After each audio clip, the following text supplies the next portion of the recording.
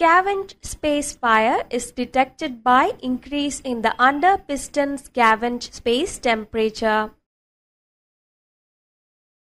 The other indications include increase in exhaust and cooling water temperatures, decrease in engine revolutions, black exhaust smoke and surging of turbocharger. When the temperature increases in the scavenge space of a unit, the temperature gauge activates an alarm. As soon as alarm sounds, auto slowdown takes place.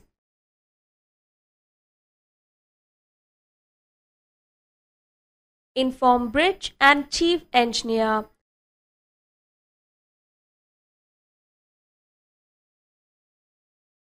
Reduce engine speed to slow ahead.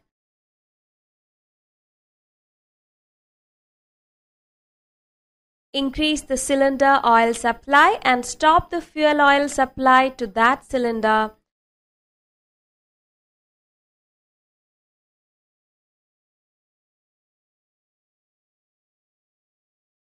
Request permission to stop the engine.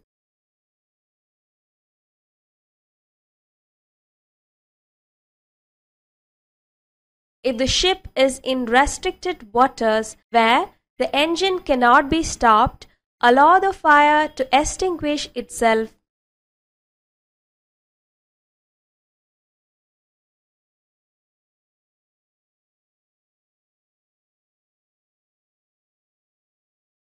When the bridge permits stop the engine.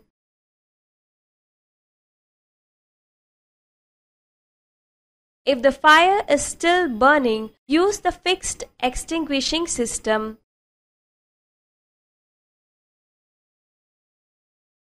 Open the scavenge doors after the site of fire has cooled down.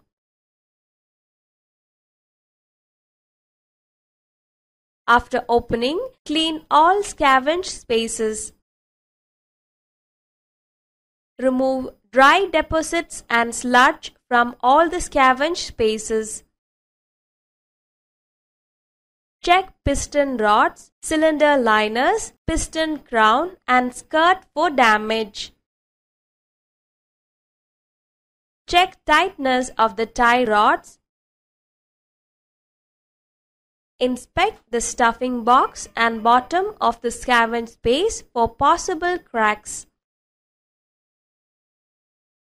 Decrease the cylinder oil supply.